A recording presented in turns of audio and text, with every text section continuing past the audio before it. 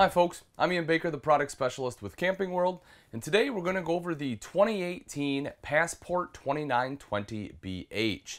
This is a quad bunk unit, so if you're looking to sleep lots of people, this is one you may want to keep your eyes on. Let's start over right over here in the kitchen.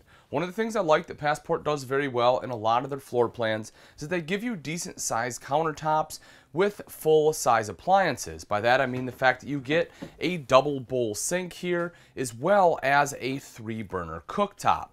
Now this sink does have your sink top cover so you can utilize this as prep space.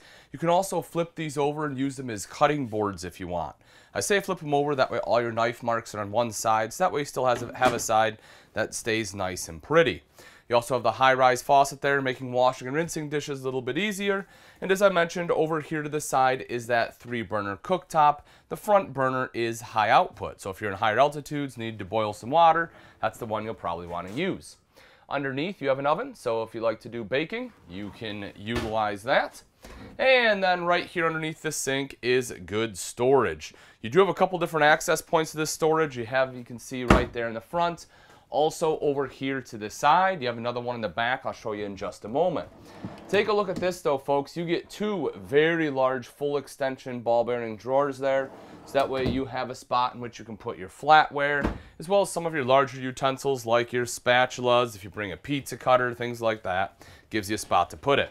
That other storage space, as I mentioned, is right up here. So as soon as you walk in, you have a couple different areas there. I personally would store my shoes on the bottom one, but again, you can do it, uh, do whatever you want with it.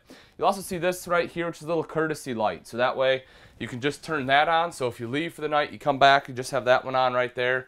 Uh, that way you're not, uh, you know, lighting up the whole place while you're gone. Or if you want to leave that on, you know, during the night, you can do that too. So if you need to get up and use the bathroom, again, you have a little uh, light there. Looking across the top of the kitchen, you will see that you have a couple doors here. Big storage all the way across the top. You don't have any stiles or anything in there, which is great, so you can fit some larger items. If you have like a big spice organizer rack or something you want to put in there, you can do that. Right underneath here, you will see you have an electrical out, uh, I'm sorry, a light as well as an electrical outlet there, so helps brighten up the kitchen. Also gives you a spot to plug in your coffee maker, things like that. Window, of course, there as well. Microwave over to this side, and your hood right here with a light and a fan.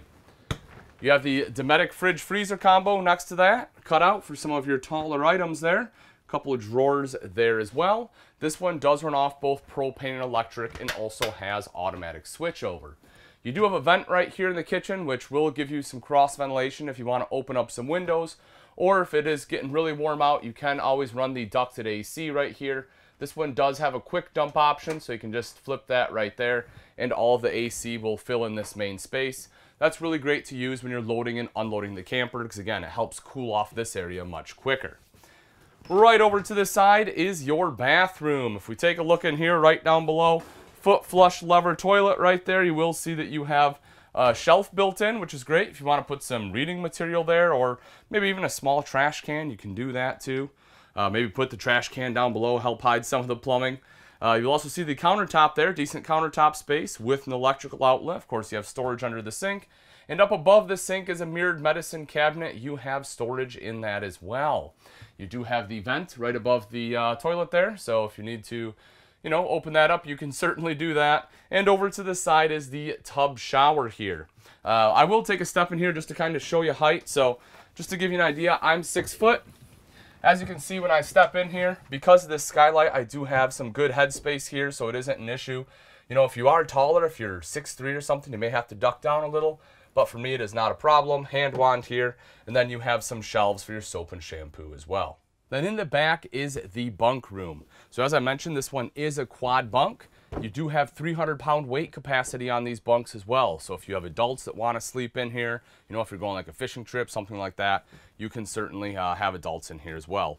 Windows on all the beds. This bottom one does have a door. I'll kind of show you how that works when we go outside. This bunk here flips up so you have uh, excellent storage during travel. TV hookups right up top. So if you want a TV back here, that's where it'll go. And then you have storage here in the center. You will notice the top one has a hanging rod, so if you want to hang up some clothes, you can do that. And then you have space for folded clothes underneath. Right outside the bunk room, you have this versatile closet space here. So if you need additional uh, space to put clothes. You can either hang them or you can leave the shelves in here for folded clothes. All the shelves here are removable. Or if you need additional pantry space, you can certainly use that as a pantry too. Directly underneath that is your fuse panel. This will house uh, your fuses as well as your breakers. And then moving forward a little bit is the Super Slide. U-shaped dinette in here, which is awesome because, you know, that way if you want to sit around and play a board game, everyone has a little more elbow room. Uh, you know, same thing if you want to eat a meal together. Or you can drop this down into a bed. The U-shaped dinette does make a larger bed than your standard dinette, so that way you can sleep two more adults right here. A couple other things that I do like about this. One is the fact that you have the leatherette here on the seat which uh, is great for easy cleanup. If you have smaller kids are still kind of making a mess when they eat, uh, th this again does wipe up much nicer than having to try to get stains out of cloth. And then underneath, you will also notice you have great storage on both sides. Fairly easy to get to because you have the swinging open door here on the sides. Rather than having to lift up a cushion and get in there, you can get in there right here. Right next to that is the sofa. So this is a tri-fold sofa. Comfortable sofa, not just to sit on, but also to sleep on, folks, because it does use the actual cushions of the couch itself. You can see this right here. This folds down. This is what your guests will actually be sleeping on. So it tends to be more comfortable than your standard pull-out, and you know it's not going to deflate on you like an air mattress may. So again, that will allow you to sleep two more adults right over here. On that rainy day, if you want to watch some TV, that's where this comes in. The TV does come with the unit. It's connected to that TV is your multimedia center right here. This unit does control your speakers both inside and outside. It is Bluetooth capable and it's a DVD player. So if you want to watch a movie, you can pop it right in there. You'll see kind of like a decorative glass right up top, which is cool. When we open that up, you see there's a little bit of storage right up here, as well as your connections for the TV there, as well as the booster. And then right underneath is more storage. When we step into the bedroom, there's a couple things that I really like. The first one is the bed itself. Folks, this is a 60 by 80 residential queen size bed. So if you're a taller person, you're sick of your feet hanging off at night, you don't have to worry about it here in the Passport. Another part that I enjoy are the doors. You have a door to the bunk room. You also have sliding doors here to the master bedroom rather than having curtains, so you get a little extra privacy. When the doors are shut, there's also a spot right here where you can put a TV. So if you want to have a TV in the bedroom, it is easy to view. Both sides of the bed have mirrored wardrobe storage. When we open that up, you'll see the shelf up top as well as the hanging rod right down below there. Uh, there are electrical outlets on the side of the bed, so if you need to plug in cell phones or CPAP machines, you can. And you have storage going all the way across the top. Again, you kind of have this cool decorative glass. You can take a look in there though, great spot to put some extra folded clothes.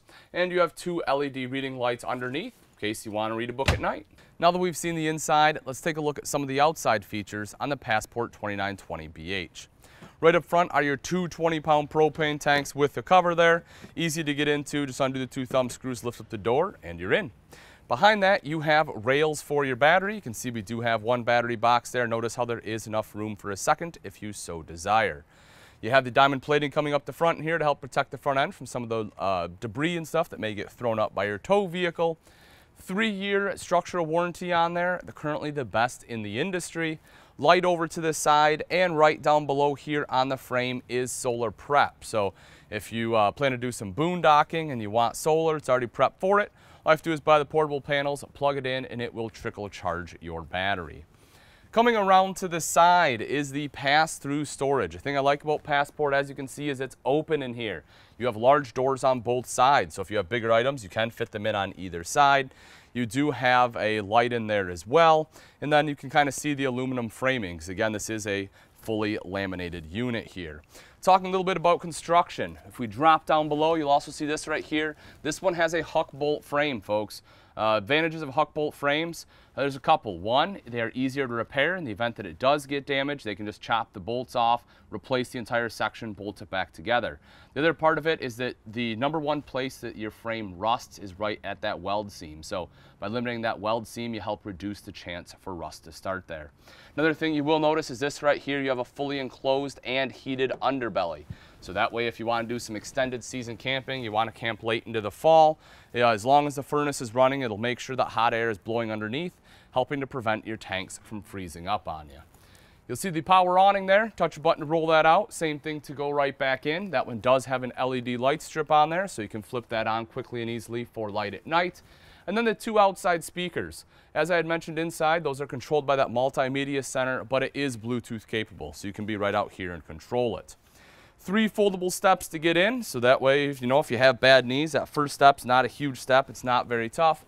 Plus you also have the foldable grab handle here, so that does give a little bit extra control, making again easier to get in and out of the RV. Taking a couple steps back, we'll look at the wheels.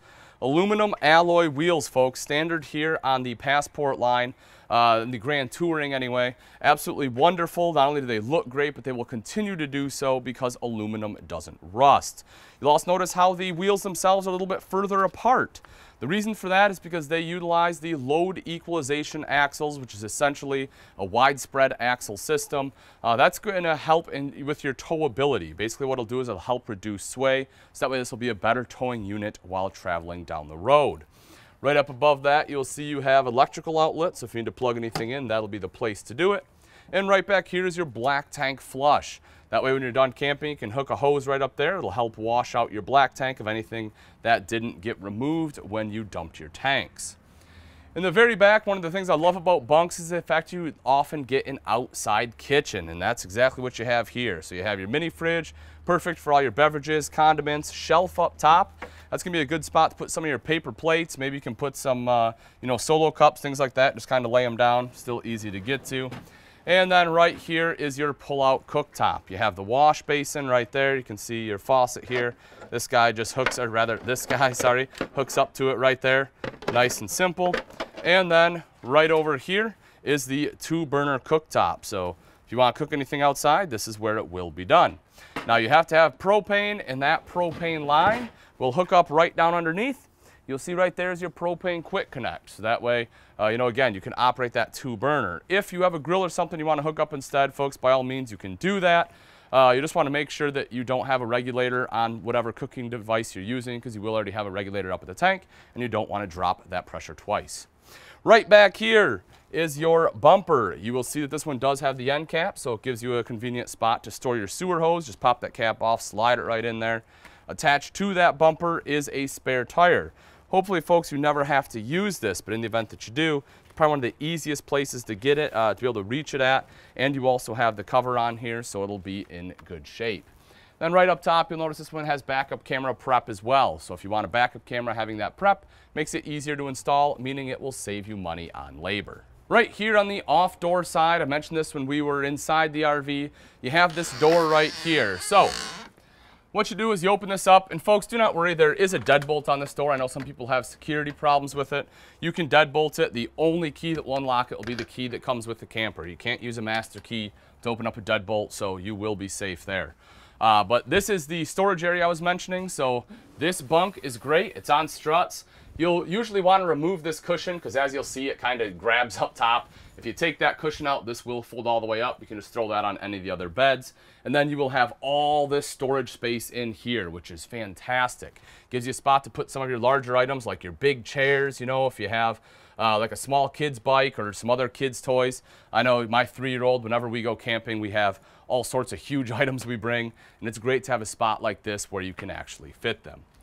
Right up front here a little ways, you'll see this one does have the outside shower here. Your 30 amp power cord will be right up above that. If we drop down below, you will notice your termination for in both your uh, gray and black tank valves are there. Right next to that are your low point drains. Uh, that big ugly mass you see there, I know it's not pretty, but it is effective. That is your uh, part of that insulation in your insulated underbelly. Lastly, your water connections are up front for both your tank fill as well as your city fill. All right, folks, that wraps it up. Again, this is the 2018 Keystone Passport 2920BH. If you're interested in this travel trailer and you'd like price and availability, simply click on the link in the description below. Thanks again for watching. I'm Ian Baker, and let's go camping.